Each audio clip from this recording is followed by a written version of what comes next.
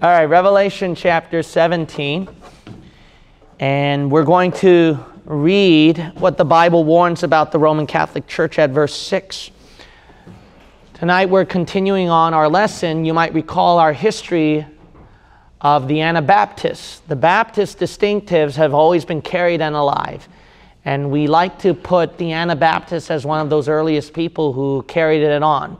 Now remember, the official Baptist group and that label and name did not really come out yet, even though sometimes that word was used during those times. But the First Baptist Church did not come out yet. However, the Baptist distinctives, the independent fundamental Baptist or Bible believing beliefs has been carried on ever since the beginning of the Bible till now, and I've shown that to you. I've shown you the nine points the nine areas of that. We've covered their history.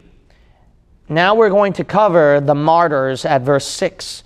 You know that uh, Revelation 17 is about the Roman Catholic Church.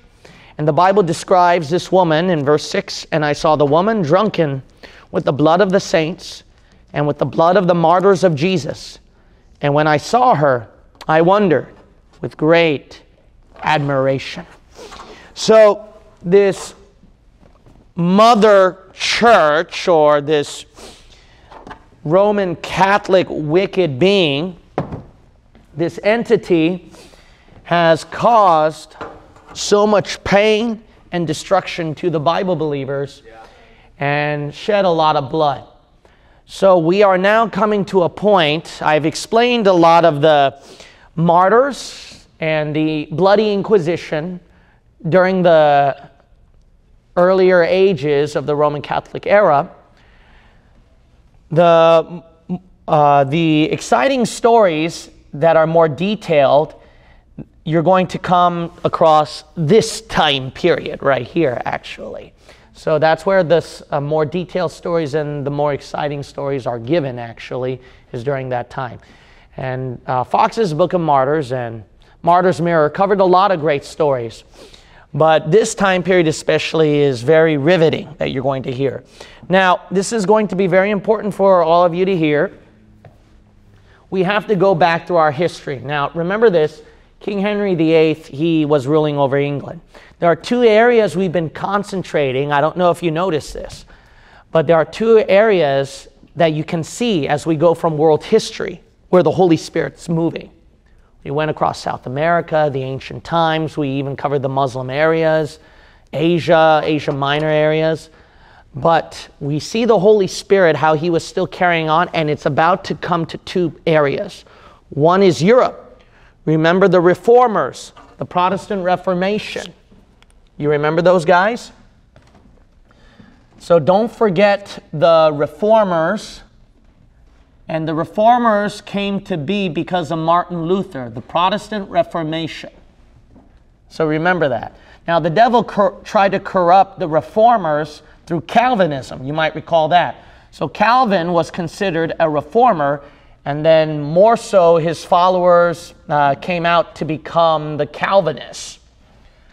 So, reformers mainly come from Martin Luther himself and then we've seen a taint and a corruption within the reformers thanks to John Calvin. However, generally, we see a lot of good stuff about the reformers if we bypass the scholars. It's always the scholars that mess everything up. If you bypass the scholars and then uh, you try to go to those who track, uh, who, track, who practice Bible believing concepts, then you can see those who are almost like us. Anabaptists are a given. And then from Europe, we go to England and we see the English reformers.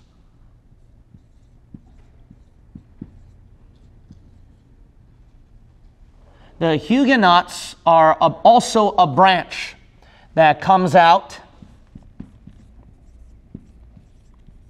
from the reformers.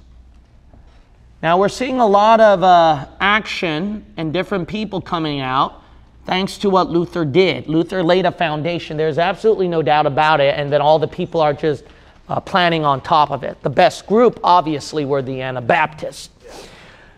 Now let's see what's going on right here. So it's England and Europe. You'll notice that. Because England is no longer a part of the Holy Roman Empire. The Lord used a wicked king named King Henry VIII, where King Henry VIII thought he was all that, and then he broke off the Roman Catholic Empire and he declared himself to be the head of the Roman Catholic Empire. Whereas uh, the Pope is supposed to be the head, right? The Pope is supposed to be the head of the Roman Catholic Empire, but King Henry VIII said, No, I'm the head. So he started what is the Anglican Church, actually. Now, if you look at Frederick Widdowson's book, he mentions on page 270 and also on uh, page 279 about a little bit of that history. The Anglican Church, it's not really much different from the Catholic Church and we're going to get down to it. So the Anglican Church is not really much different from the Catholic Church. It's just that it has that English culture and that the King of England is the head of the church, not the Pope. William Tyndale gave a prayer when he was burnt at the stake for trying to translate the Bible into English.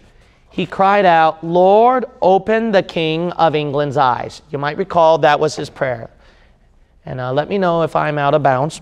But when he gave that prayer and cried to God, remember the King of England's eyes, King Henry VIII, somehow just saw no, uh, no good reason to prevent William Tyndale's Bible or his work yeah. from spreading. Yeah. So King Henry VIII allowed that. So now England, so notice the true trend here. Remember the Holy Roman Empire, Europe, and England Okay? King Henry VIII broke it off, so now there's two areas. Because it's split off from the Holy Roman Empire, no pope interference. The king is supposed to be the head of England, of his Anglican church and empire. So he allowed the Bible to roam freely. When we get down to our history, that's going to be very important. He laid the foundation. A wicked king was the one that laid the foundation. That's phenomenal. That's really big. Now we're going to come to an exciting point in our history. There is no doubt that the devil, he's seeing something going on. And then, so there's a lot of action taking place.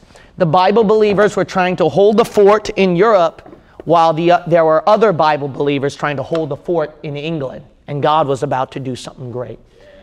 From William Tyndale's prayer, Edward took the throne after King Henry VIII.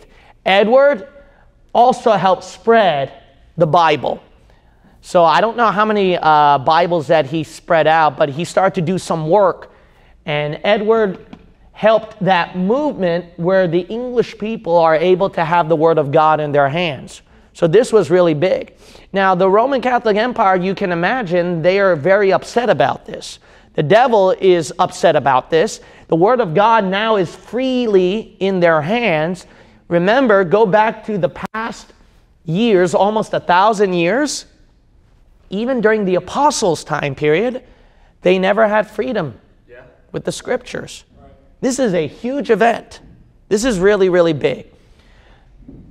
But then you can see this collide of the Catholics versus the reformers back and forth. And there was a battle going on. Don't forget those Jesuits those sneaky Jesuits. The Jesuits helped out the Holy Roman Empire, and then the Catholics tried to make a comeback against England. They didn't want England to become a reformed nation, so to speak, the Reformation to effect it. So then, after Edward, Bloody Mary took over. You hear that name, Bloody Mary. You know where that came from? Because she was responsible for killing a lot of Bible believers. This is a very dark time. It looked like a huge victory to the Holy Roman Empire because now the scriptures can be blocked. She's a die-hard Catholic. Don't forget the bloody Inquisition. So the Inquisition and its terrors and its torturous devices can be revived. Bloody Mary helped the Inquisitions and the people who learned from the Inquisition and the torture to continue on. The burning of the stakes was uh, quite often, and there was an unholy union taking place. This looked like a huge comeback for the Holy Roman Empire. Do you know who Bloody Mary uh, uh, married, so to speak? She married Philip of Spain. Philip of Spain, this is so dangerous. Remember, Spain is a Catholic territory. Remember, the Muslims died out. I've showed, I've explained that in your his, history part. Originally, it was mostly Muslim territory, but then the Catholics started to push them away. So Philip of Spain is a diehard Catholic. The worst Inquisition branch, remember, is the Spanish Inquisition. It is said the worst tortures and deaths and execution was under two people, Philip of Spain and the Duke of Alva. And with the Spanish Inquisition in their power, with Bloody Mary, it was a dark time. So Satan now was heading toward England and Europe, and he's, he's determined to wipe out the Bible believers off the map. With the combined force of Bloody Mary and Philip of Spain, it looked like the Holy Roman Empire, that the Vatican, the Jesuits, and the Pope would have their victory once more. I'm going to uh, read some stories over here about uh, the martyrs on how they lay down their lives for Jesus, and it was a time of terror.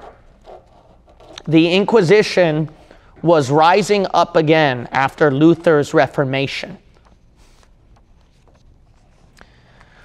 When we look at our history of Bible believers, it gets us under conviction on how these people just lay down their lives for Jesus Christ and they trusted in Him completely they were willing to be tortured to death for his name. It gets you under conviction. It touches my heart. Now remember, before Philip of Spain, don't forget Emperor Charles. Emperor Charles was the guy who was in charge of the Holy Roman Empire, and Luther faced him. Luther could have been tortured. Uh, the dukes that were influenced by Luther could have been tortured, but God's mighty hand was so much on him that uh, the, the, emperor couldn't go against the dukes because it was so broken up the empire. He needed a unified. Luther was protected by another duke. If you might recall, uh, when I've explained about our history lesson, if I never mentioned that, Luther, the reason why he survived all that time was there was a duke who hid him, protected him in his castle so that people won't find him. So Luther, there was no doubt God's hand was on him where he changed the entire empire and almost the world and history itself. Secular historians cannot skip Martin Luther when they talk about this historical time period. That's how much he affected history. They can neglect the Baptists all they want, the secular historians, but they can't uh, reject Luther because he changed history, this guy. Let's go to this time period on how the Bible believers stood out during this reign of terror. Let's start off with Emperor Charles V and go down the track. Emperor Charles V, Dr. Ruckman says in page 519 in the History of the New Testament Church, issued the Edict of Spires, commanding the entire Holy Roman Empire to go on a crusade against the Baptists. This is interesting. His definition of a Baptist was anyone who neglected infant baptism. So notice that, this, uh, that, Baptist, that Baptist indication was alive during that time, even though the official denomination wasn't out. Under Charlie, Dr. Ruckman calls him, under Charlie, Christians were hanged, beheaded, burned, or buried alive in the Netherlands. On June 10, 1535, he called for the death of every Bible believer in the land. If they recanted, they would have the privilege of dying by the sword instead of by fire. Wicked, evil man, right? Women were buried alive. They were placed in a tight coffin, and a rope was put around their neck and drawn through two holes in the bottom of the coffin. Three iron bars were driven through the coffin from side to side to keep the struggling body under the lid. The lid was then nailed down, and dirt was shoveled over the coffin. Dr. Rule relates the case of a harmless woman at Leeuwarden in 1548, in whose house some papist found a Latin testament. Since she didn't have written permission to be reading it, she was put on the rack for torture and then beheaded. Now, some of these torture devices you might recall that I explained in our previous discipleship classes. The rack is where they tie thin ropes and then they stretch you. And then those ropes would cut through the skin and the muscle, and blood would squirt out five or six different directions. And then the iron coffin is a coffin simply with spikes. You put a victim in there and then you close the coffin. You can guess what would happen. And yes, it would even pierce through your eyes. One Baptist sentenced to death escaped over a frozen lake. His name was Dirk Willemszoon. One of the papist soldiers chasing him fell through the ice and began to scream for help. His two buddies deserted him, but Dirk came back and helped him out. Once out, the soldiers' buddies showed up. They arrested Dirk and took him back into prison, and he was burned at the stake the next day. Did you hear that? I hope you're just not, uh, you know, letting, uh, just hearing me robotically read. I hope you're paying attention. This is a lot of good stuff, and this is probably one of the best lessons I'm going to read to you.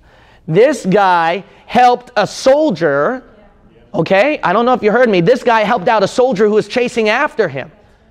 And then the soldier was about to die, sink in the lake, uh, in that icy lake. The, that guy rescued his life. This Anabaptist saved his life. And then what did they do in return? In return, they just caught him and killed him. He could have ran away, gone away with it. But instead, he returned to help his persecutor. Baptists met where they could hear the Bible taught in darkness, in barns, and in bushes. Dragoons hunted them by the light of the moon and the stars. Under Charles V, more than 30,000 Baptists were killed in Friesland and Holland alone. Rule says, quote, the whole land was stricken with terror, and the cries of the tortured were heard perpetually. Gallows and trees on the highway were hung with dead bodies. The very air was polluted with the stench, and the knell of death sounded heavily from every belfry. The Duke of Alva gloated. So remember, the Duke of Alva, he's a part of that wicked mess. Uh, let's go over here.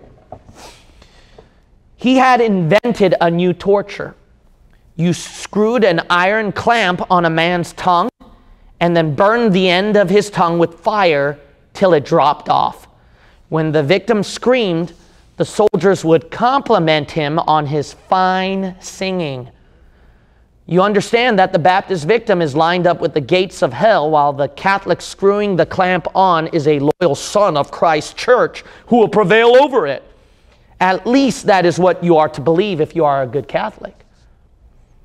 No country at this time was more thoroughly soaked with the blood of the saints than Holland under Philip II of Spain and the Duke of Alva. However, the Pope's control of France was also strong enough at this time to sponsor a good bloodbath there. This one was called, this was a pretty famous event that you want to know St. Bartholomew's Day Massacre.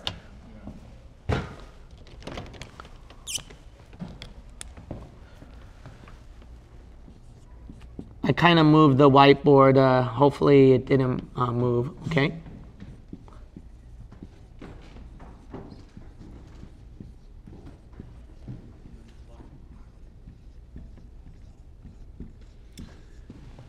St. Bartholomew's Day massacre, when we go to France,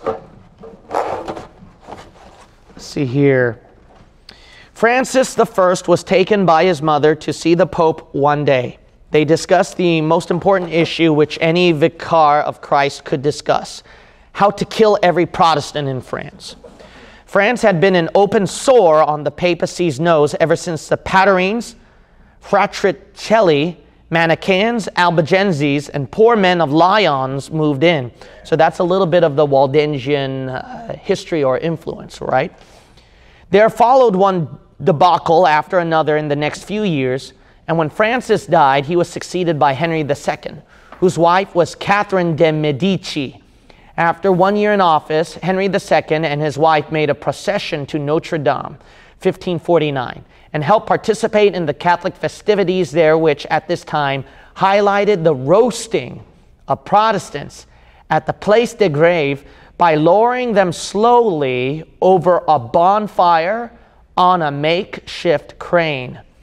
Several years later, a marriage took place between Henry of Navarre, Henry IV, and Margaret de Val- uh, Valois. Henry's mother was Jeanne de a staunch Huguenot. So remember those Huguenots I wrote down, right? Around this time, a famous Bible believing Huguenot, Admiral de Coligny, and other distinguished guests were invited to the French king's court, including Jeanne d'Albret, Queen of Navarre. When they had all assembled, supposedly on the best of terms, Henry of Navarre had fought on the Protestant side of the fence earlier with Coligny and the Prince de Conde. What happened? A Catholic assassin stabbed Coligny, and this sparked the Catholic revival. The cathedral bell of Saint Germain le Auxerrois tolled at 2 a.m. This is August 24th, 1572, as a pre-arranged signal for all Catholics to prevail against the gates of hell. Mezeray says this. This is how it went, this massacre.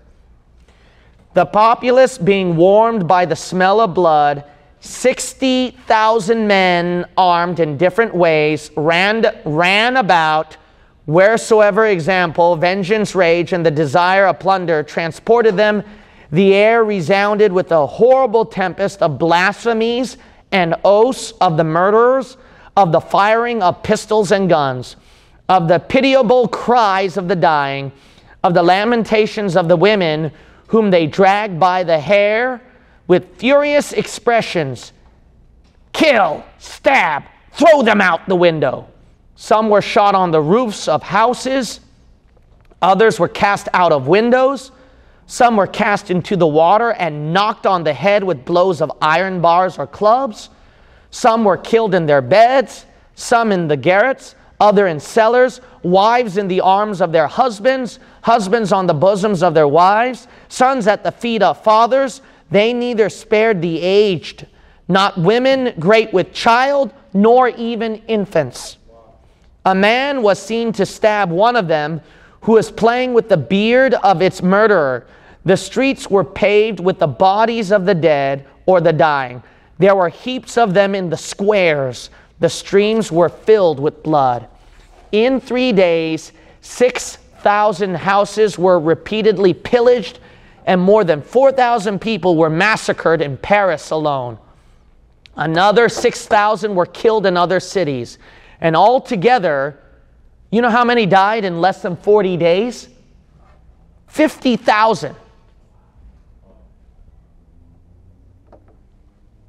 Now, how do you suppose that a holy father who was a vicar of Christ from Blessed Simon Peter would react to such news? How did His Holiness Pope Gregory the 13th receive such tidings? Did he go into St. Peter's and ask God to forgive his church members for carrying on like a bunch of psychotic killers? No. Did he kneel at the altar and pray for the poor souls in purgatory who may have gone there after getting murdered? No, no, of course not. He did exactly what any student of church history would expect a really holy pope to do. He marched straight to the church of St. Mark, taking his cardinals with him and there he solemnly gave thanks to God for the great blessing he had just conferred on the Christian world. Then he had fireworks discharged to celebrate it as a triumph of the church militant. That is evil. That is purely evil. This is a church that you love. This is the mother holy, holy church that you love. It's evil. Yeah. Purely evil.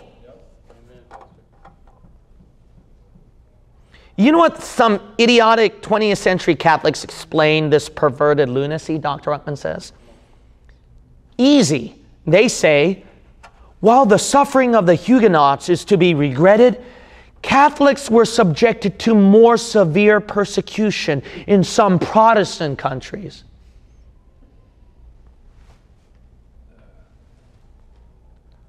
Dr. Ruckman says, more severe? In what countries?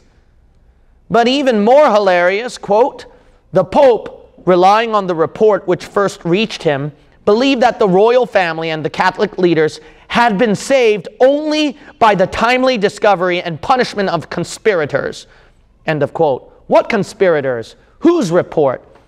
According to Catholic killers in the 20th century, the whole affair was an accident and the church had nothing to do with it. It was just a personal political crime of an ambitious woman. Rome never changes, she just adjusts. Right. That's it. Let's see here. Promptly, thousands of Bible believing Reformed and Huguenot Christians, I'm now in 523, page 523. Thousands of Bible believing Reformed and Huguenot Christians evacuated France for Holland, America, England, and Germany. They took their money, libraries, fine arts, manufacturing skills, and industry with them, almost uh, catapulting France back into the Dark Ages. This time, France lost the flower of her manhood and was so denuded of high moral standards, ethical principles, and biblical knowledge that she came under the dominion of a genuine fascist dictator from 1638 to 1715 under Roman Catholic Louis XIV, who set up France for atheism and eventually for the revolution. We will come back there one day. So that's what happened to France because of such a horrendous thing that resulted. In 1524, in Meldon, France, one John Clerk affixed a bill to the church door in which he called the Pope Antichrist. For this, he was repeatedly whipped and then branded on the forehead. His mother, who was watching the whole thing, cried out, Blessed be Christ, and welcome these marks for his sake.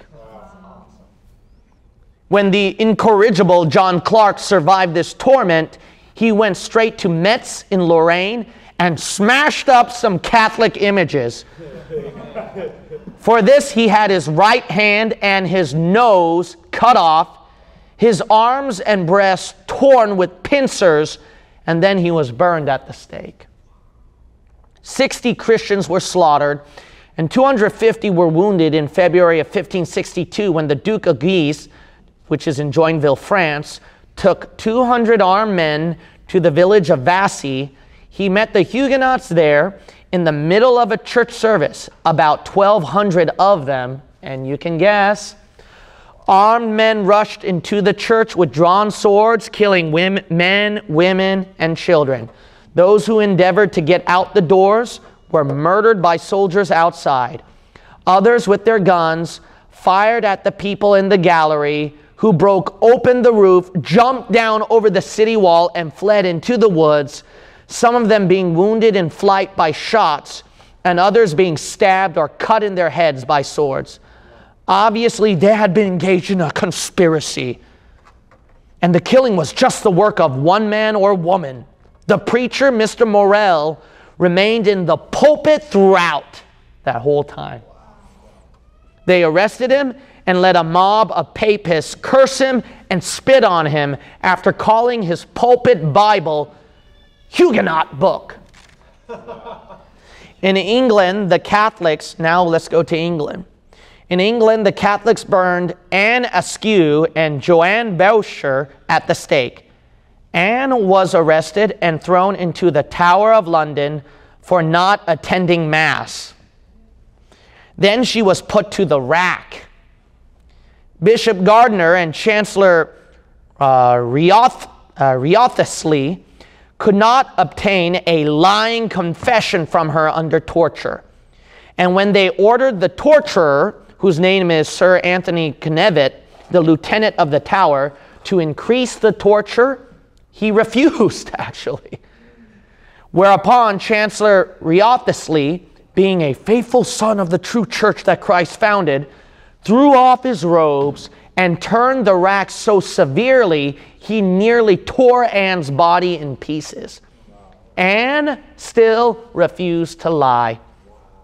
When asked about the cannibalism in the Mass, she said simply, quote, I have read that God made man, but that man can make God, I have never read. She was so badly maimed from the racking, she had to be carried to the stake in a chair to be burned. 1546, at the ripe old age of 25. Joanne Bocher had been busy circulating Tyndale's heretical translation when she was arrested. May 1549. She was condemned immediately as a terrible heretic because she denied that Mary was sinless. A number of ecclesiastical worthies tried to get Joanne off the hook, but still, she was burned on May 2nd, 1550. A certain Bishop Scory preached at her while she was burning and vilified her as she suffered. No one remembers to this day what the bishop's text was. so no one knew what that Catholic, uh, that Anglican or that bishop was preaching at her, but they remembered what she said. But Joanne's reply to him, in the flames, will long be remembered, for it constitutes one of the most potent sermons ever preached to an apostate in less than 10 seconds. While burning, Joanne Bocher looked the Catholic rascal dead in the eye and said, You lie like a rogue. Go read the scriptures.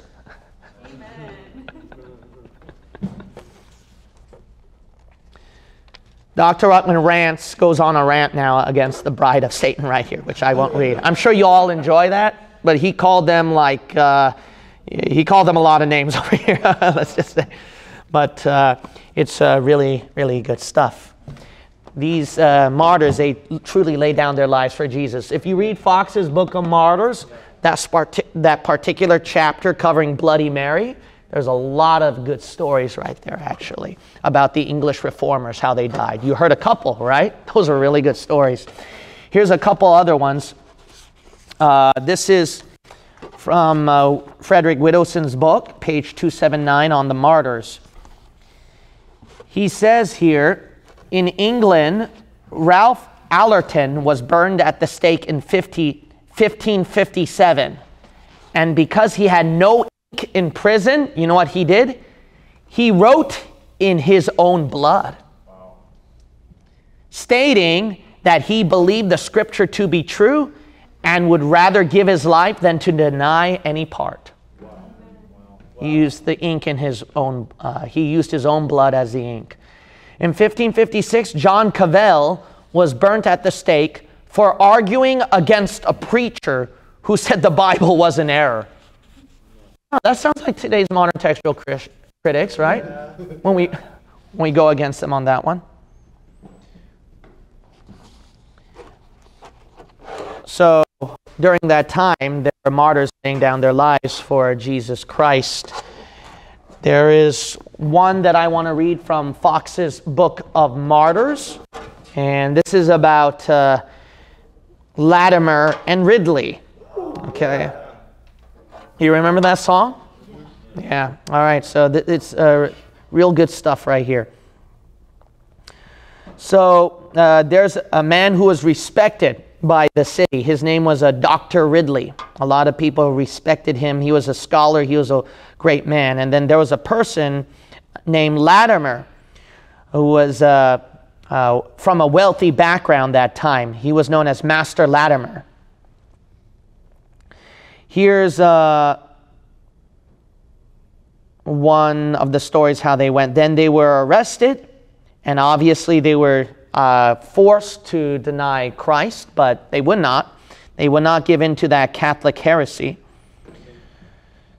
And this is, uh, let's see. Here's one quote. Then the smith took a chain of iron and brought the same about both Dr. Ridley's and Master Latimer's middle.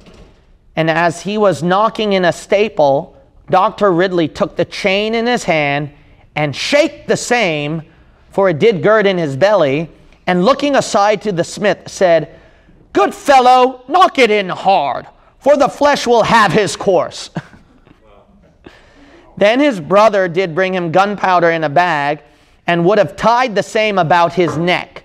So I don't know if you uh, knew this or recall what I mentioned about martyrs a long time ago, it was a sign of mercy if you burned at the stake that you put gunpowder around the neck so that the flame can catch the gunpowder and his head can blow off.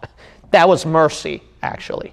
Some of them, if they confessed their sin and renounced their Christian stance, then they would, out of mercy, the stinking priest would put the gunpowder around their neck and let their heads blow up.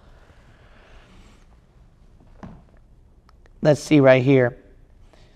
Master Ridley asked what it was, you know, that gunpowder. His brother said, Gunpowder. This is what Master Ridley replied. Then, said he, I will take it to be sent of God, therefore I will receive it as sent of him.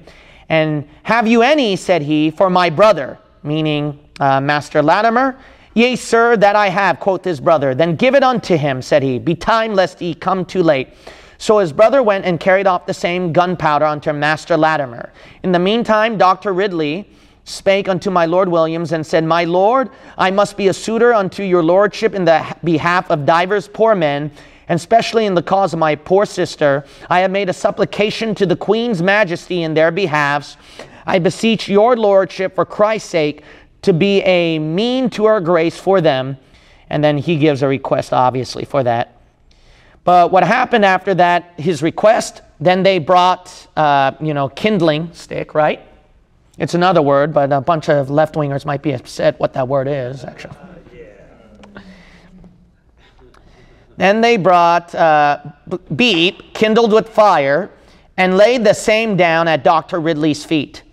To whom Master Latimer spake in this matter, manner. You know what he said when they put the, when they were about to light the fire at the feet? Be of good comfort, Master Ridley, and play the man. We shall this day light such a candle by God's grace in England as I trust shall never be put out.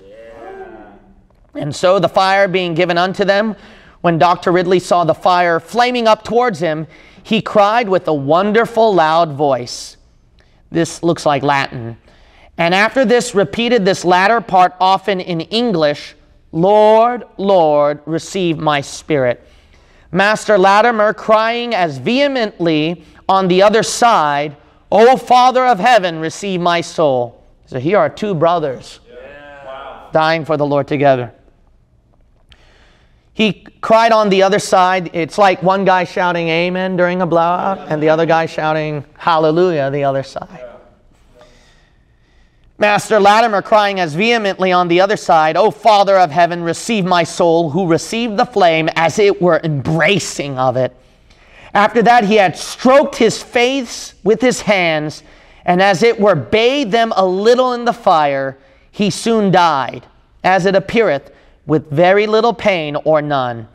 And thus much concerning the end of this old and blessed servant of God, Master Latimer, for whose laborious, uh, laborious travails, fruitful life, and constant death, the whole realm hath cause to give great thanks to Almighty God. But Master Ridley, by reason of the evil making of the fire unto him, because the wooden beep were laid about the gorse and over high built, the fire burned first beneath, being kept down by the wood, which when he felt, he desired them for Christ's sake to let the fire come unto him, so the fire wouldn't reach him. Which, when his brother in law heard but not well understood, intending to rid him out of his pain, uh, let's see, as one in such sorrow, not well advised what he did, heaped more of the kindling sticks upon him so that he can clean covered him, which made the fire more vehement beneath, that it burned cleaned all his nether parts before it touched the upper. And that made him leap up and down under the kindling sticks and often desire them to let the fire come unto him, saying, I cannot burn. Which indeed appeared well, for after his legs were consumed by reason of his struggling through the pain, he showed that side toward us clean, shirt and all untouched with flame. Yet in all this torment, he forgot not to call unto God still, having in his mouth, Lord, have mercy upon me. Let the fire come unto me. I cannot burn. In which pangs he labored till one of the standers by with his bill pulled off the kindling sticks above, and where he saw the fire flame up, he rested himself unto that side and when the flame touched the gunpowder, he was seen to stir no more, but burned on the other side, falling down at Master Latimer's feet, which some said happened by reason that the chain loosed Others said that he fell over the chain by reason of the poise of his body and the weakness of the nether limbs. Some said that before he was like to fall from the stake, he desired them to hold him to it with their bills. However, it was surely it moved hundreds to tears in beholding the horrible sight.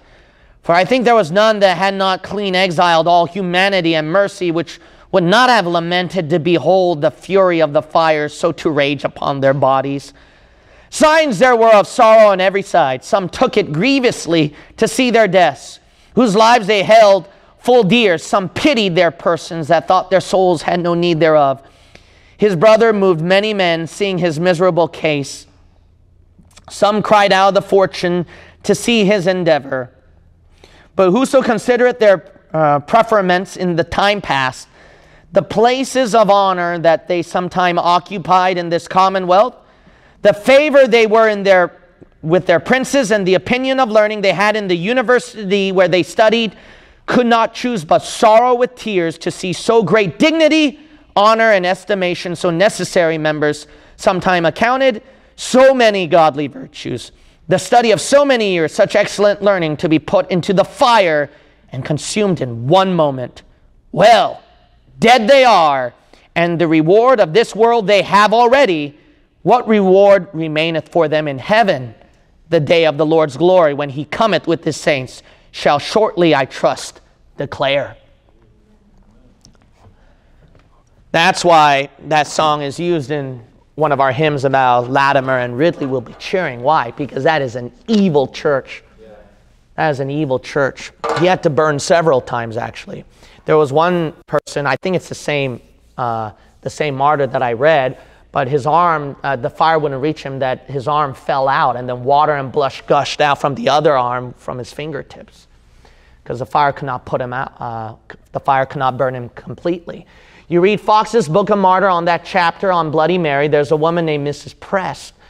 And then Mrs. Prest, uh, she was forced uh, by her family to just uh, reject her Bible believing beliefs, but she would not uh, give in to the Catholic Church, even though the priests forced the family onto her and they tried to get onto her. You know what? She knew more scripture than them, and they couldn't, those Catholic scholars could not stand that.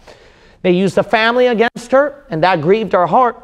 But you know what? She, she gave a famous statement. She said that. Uh, that, uh, what did she say? She basically said this is that she gave up her husband, her children, and then sister, brother, everything for the Lord. For what? For the Lord. And then she said, My God, to me, my God is my brother, my sister, my husband, my children, my whole family. That's what she said. And she died for the Lord Jesus Christ. There was another person who was a blind man, another person who was a lame man, and they got burned at the stake. And you know what uh, the lame man said? Uh, the lame man said, Be of good cheer, my brother. Pretty soon we'll be up there. You'll be cured of your blindness, and me of my lameness. they had great victory. This is martyrs. During Fox's Book of Martyrs, Bloody Mary fell away finally. Queen Elizabeth came to the scene. Under Queen Elizabeth, it became a Protestant nation again once more. If uh, Frederick Widdowson, I would highly recommend to read David W. Daniels' book. Did the Catholic Church really give us the Bible? It gives that drama even better. I give a little bit of that in my video, History of Bible Believers. But in Frederick Widdowson's book, on page 270, Elizabeth uh, took over and then she returned England to Protestantism. But the Catholics are not happy about it. So then they wanted uh, England to fall on its knees. So then in Scotland, they went to Mary, Queen of Scots. Mary, Queen of Scots, would be used where they can be able to uh, get the Queen Elizabeth to fall and that way they can ha- hatch a plan where the Catholics can take over again. However, what happened to uh, Mary, Queen of Scots, when she tried to fight against Elizabeth, she failed. So then the Catholics lost their battle. They couldn't use Mary, Queen of Scots, against Queen Elizabeth. So then let's go back to Philip, that powerful emperor. His boasted Spanish armada, the most powerful fleet in the world that time. And the Spanish armada, the Catholics were about to make a comeback. Okay, we're going to get England back on track. We love Bloody Mary. We were trying to wipe out those Bible believers. They just won't die. So we need to take that nation for ourselves. So Philip of Spain, with this powerful Spanish armada, came over to England. And what do you know? A big wind blew off his fleet off to the coast of Iceland. And then the majority of the fleet fell apart, and his boasted, most powerful Spanish armada that could conquer worlds fell apart by just one little from God. So, so much for the famous Spanish Armada. Amen. And then Philip, that ruined the Holy Roman Empire. Their kingdom crumbled. That put England on top Amen. after that. So then the Jesuits and the Vatican were the biggest losers in history, no matter how much they tried, how much control they had. Bible believers, they just continued on no matter what. They had over a millennia wiping us out. We carried on. God's scripture survived. Vaudois and Waldensians memorized the scripture. God's truth marched on. Amen. Then came to the scene King James. Here is what uh, Widdowson says about King James. He writes over here in page 280 a Bible translation was created that did what Luther's German Bible had done for the German language, helping to create modern English and influence, inf, uh, influencing 300 years of Christian life in the countries that spoke English. In 1603, the great English monarch and staunch Protestant who oversaw England during the time of Walter uh, Raleigh's and Francis Drake's explorations and the defeat of the Spanish Armada, Queen Elizabeth I lay dying. She was to be replaced by James Stuart of Scotland, having been king of that country since he was one years old.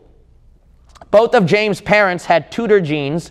The family of Elizabeth but until 1586 she had not hinted that she would choose him to be her heir. This king is known by history as a man of contradictions. He has been called the Solomon of his time, the first English king with the English derivation of the Hebrew name Jacob, hence the appellation for his era of uh, Jacobean. He could read Latin and Greek and Hebrew and other languages, and at a young age himself, translated sacred writings between various languages, although he had no hand in the translation process of the Bible that bears his name.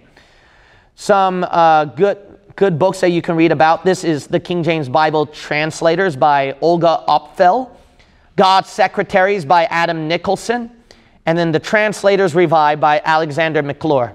All right, let's keep reading here. He had been also called God's silly vassal. He was credited by some historians as being the first English king to use the great uh, to use the term Great Britain, believe it or not. So that's where Great Britain came to be. He was also condemned by the Puritans for playing tennis on Sunday. He made peace with the long-standing enemy Spain. He was also accused of being a homosexual 25 years after his death by someone he had removed from his court named Weldon. Although this accusation was proven to be a lie by British historian Lady Antonia Fraser, under his watch, the colony of Jamestown was created, but also under his watch, many Puritans were kicked out of England. Finally, under his watch and with his approval, the greatest translation of the Bible in any language in any time was executed.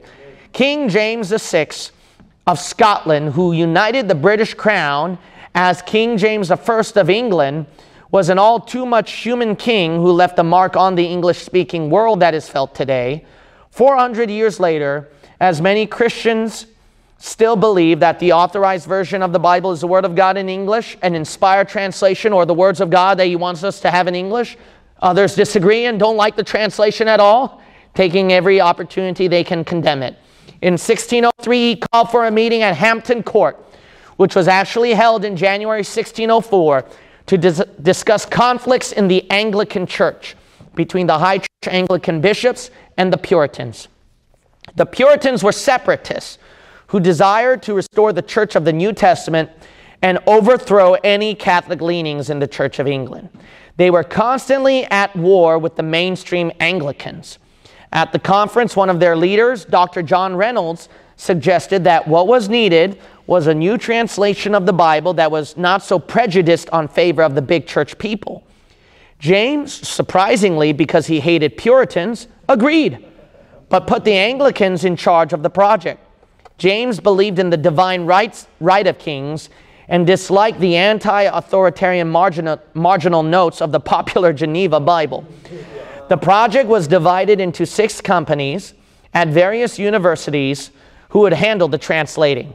They were to use the bishop's Bible and not deviate unless necessary. This didn't happen. What they did was to ignore it, and many scholars say, say they stayed 95% with Tyndale's New Testament. Once one part of the translation was finished, it would pass to the other companies who would have to approve it, and then on to the final editors who would decide all controversies. In this manner, some scholars I read insisted that each verse had to pass 14 approvals before being permitted in the final draft. The translators had every vernacular Bible in every language available in front of them. Now, for people to pick on King James to disprove the King James Bible, that's pretty lame. You got to look at the translation itself, and you can see it went through controversy. They weren't all in one crowd agreeing with each other. And then this was like a was a process that had totally, if you want, uh, excuse me, peer-reviewed work. This was it right here. Had to pass 14 approvals, and then the translators had every vernacular Bible in every language in front of them. Over a thousand manuscripts, the works of Erasmus, Stephanus, and Beza, plus the Old Latin, Jerome's Vulgate, and scores of secular Greek manuscripts. For the Hebrew, they use a traditional text of the Hebrew Masoretes, called the Second Great Rabbinic Bible of Jacob ben Chaim from the famed Bomberg Publishing House. By the time they were through, they even passed their work to scholars who weren't on their committees for their suggestions, so much so that the famed Bishop Ussher was asked to return the part of the Bible he was reviewing in Ireland. Yeah, the Ussher, where we get the Ussher's time chronology. It's the same guy. He was reviewing in Ireland so that they could finish their work. It still took seven years to complete, not being published until.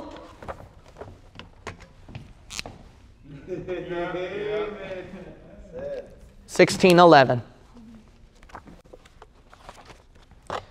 Some other parts over here. The translators were the most brilliant minds of their age.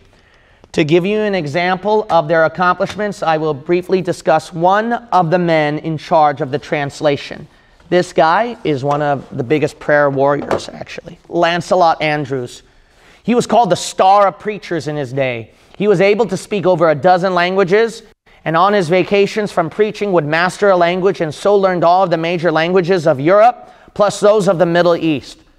I would like to know any of these sad, silly Calvinists today and textual critics who are amateurs and saying, What about this error in the King James Bible? Hey, fool, did, did, did, you, did you know over a dozen languages? Uh, are you like this guy? This is just one of them. He so learned all the major languages of Europe plus those of the Middle East. He was so brilliant and like the other translators chosen, the best of the best, that Nicholson says, quote, it is because people like Lancelot Andrewes flourished in the first decade of the 17th century and do not now that the greatest translation of the Bible could be made then and cannot now. You get a sad, silly revised version and then the NIV and now the ESV. You guys are a sad lot, man. He goes on to say that the King James Bible is the greatest creation of the 17th century. Nicholson also states that, quote, vast quantities of linguistic scholarship and skill were to be assembled on this project, with scholars more than capable of teasing nuance and subtle meaning from Hebrew, Greek, and even Aramaic scripts. Olga Opfell states that, quote, altogether, the King James Bible was destined to be the product of the best and most careful scholarship of its age. There were experts in Arabic on the committee, committees, expert in architecture for the sake of understanding the tabernacle and the temple, experts in every field that would have some impact on studying the Bible. Opfell and Ward Allen, in his The Coming of the King James Gospels and his compilation of translator John Bois's notes in translating for King James, talk about some of the resources the translators use. This was to be and still is the most thorough and complete translation of the Bible using the Byzantine text of Syria and the Bibles based on it and the Hebrew of the Masoretes. Every Bible after its translation of importance, and there have been over 200 since then, has given precedence to the Alexandrian text type and the manuscripts from Egypt and a Greek translation of the Old Testament made by Origen in the third century, containing books rejected as canon by the Jews. That's your superior translation, huh, you fool? And you reject the King James? Of course, these points will be argued against by those who favor of the Alexandrian text. It will be pointed out that the King James translators did translate the Apocrypha, even though they placed them in between the Testaments as worthy of historical study, but not inspired literature. The evidence is if you you'll see the label Apocrypha on every page. But then the Old Testament, New Testament, no label, because they see that as part of the Bible.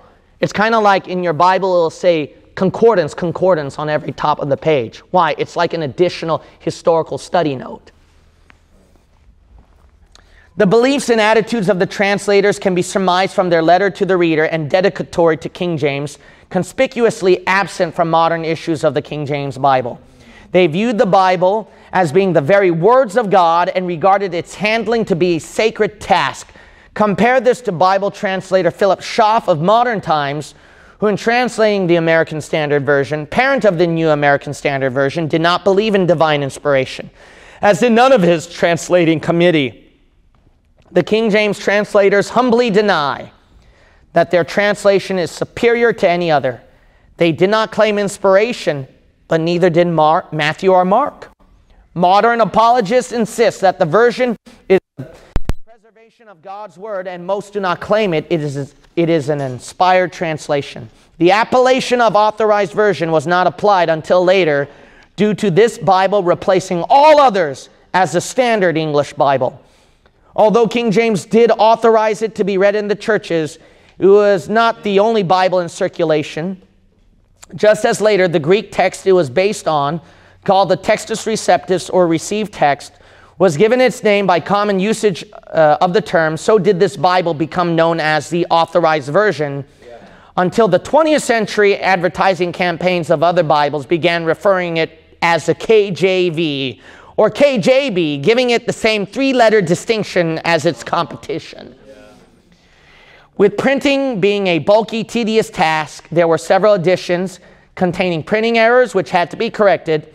Spelling wasn't standardized until the mid 1700s, and the King James Bible used today is different in that regard to the non standardized spelling of 1611. Yeah. With nearly a billion King James Bibles having been printed, it created our language, and you can't help but quote it with phrases like making a difference or escaped with the skin of my teeth, being direct references as well as many others in our language. Amen. William Phelps, professor of English literature at Yale, you know what he said in his book, Human Nature and the Bible? We Anglo Saxons have a better Bible than the French or the Germans or the Italians or the Spanish. Our English translation is even better than the original Hebrew and Greek. It was Ruckman who said what? No, Ruckman didn't start that. Scholars, modern scholars, they don't read. There is only one way to explain this. I have no theory to account for the so called inspiration of the Bible, but I am confident that the authorized version was inspired. How about that? Now, as the English speaking people have the, this is him continuing his quote. Now, as the English speaking people have the best Bible in the world, and as it is the most beautiful monument ever erected with the English alphabet, Amen. we ought to make the most of it. For it is an incomparably rich inheritance, free to all who can read. This means that we ought invariably, in the church and on public occasions, to use the authorized version. All others are inferior. Amen. and except for special purposes, it should be used exclusively in private reading. Why make constant companions of the second best when the best is available? Let's close with the word of prayer. Amen. Heavenly Father, thank you so much for the Word of God that we hold in our hands. And I pray that the next part of our history will be excited even more uh, as we see the King James Bible being attacked by the Jesuits. Uh, during the translation process of the King James Bible, I will explain that in our next history study. May we open our eyes and see truly, truly, what an amazing history we have, and that the enemy is still that Mother Church in Rome, Lord. How easy. Isn't it amazing, Father? People say America is Babylon. Isn't that what the liberals wanted anyway, to make sure that America becomes the enemy while we embrace the whole world? Isn't that strange, Father? Isn't Babylon supposed to be the Roman Catholic whore? How well has she hid herself? May we never forget our enemy. In Jesus' name we pray. Amen. Amen.